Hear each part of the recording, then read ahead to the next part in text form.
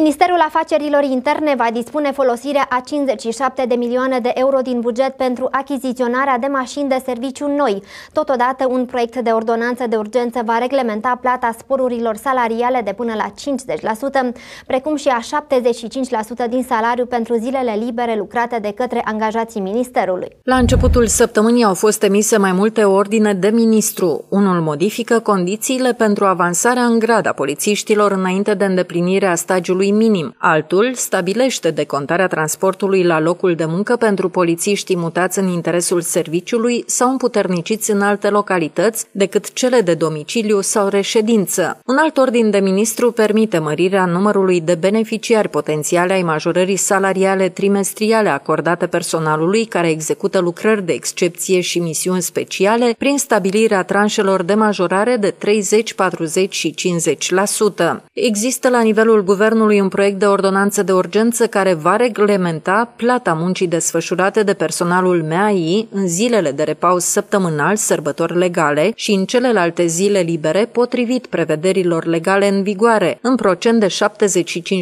75% din salariul funcției de bază, soldă sau salariul de bază. Legea respectivă ar urma să reglementeze și modul în care poate fi acordat sporul sau majorarea salarială de până la 50% din salariu.